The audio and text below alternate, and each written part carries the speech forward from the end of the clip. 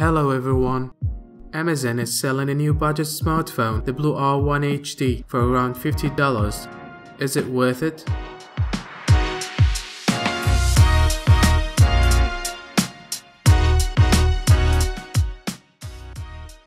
Let's get this first out of the way. This phone is cheap because Amazon is subsidizing it with ads you see when you turn on the screen. This offer is only available for Prime members in the US store. If you're not a Prime member, you can get an ad-free variant for $100. Let's get the specs out of the way. We get 102GB RAM, 8 to 16GB of storage, 1.3GHz quad-core processor, and 4G LTE connection. Here we're looking at the $60 version, which is $10 extra from the base model because of the 8GB storage and 2GB of RAM. The thickness of the phone measures at 8.7mm. It's not thick, but it's not thin either.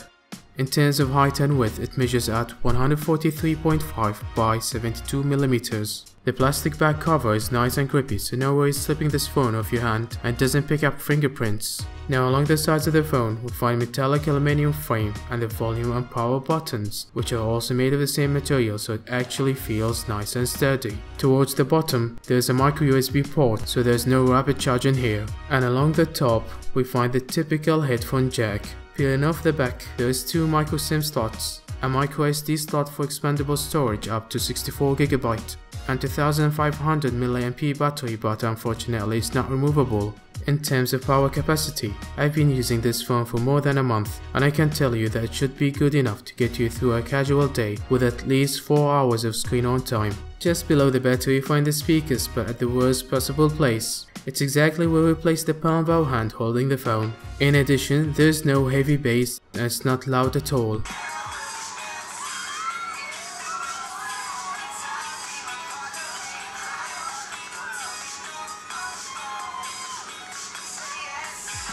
Moving towards the front of the phone, there's a 5-inch 720p IPS display featuring 294 ppi. Viewing angle is great, picture does appear sharp and vivid, but it doesn't come close enough to AMOLED display.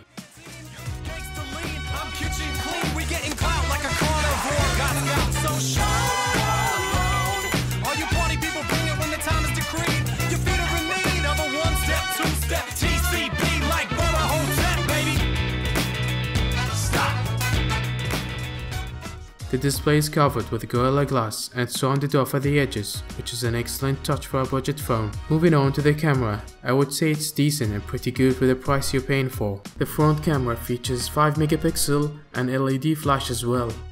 The back camera sticks out a little bit and features 8 megapixel and LED flash. No optical image stabilization included in this phone. It can take Full HD video at speed of 30 frames per second. In terms of picture quality, image does appear clear and crisp in daylight conditions, but color depth isn't really that great. When you go shooting indoors or in low light conditions, there's a little bit more noise but it's not really that bad. But in extreme low light conditions, pictures do get much worse. On the software side of things, it comes with Android Marshmallow 6.0 right out of the box. Of course you'll see a few Amazon bloatware apps, but in general it's a stock version of Android.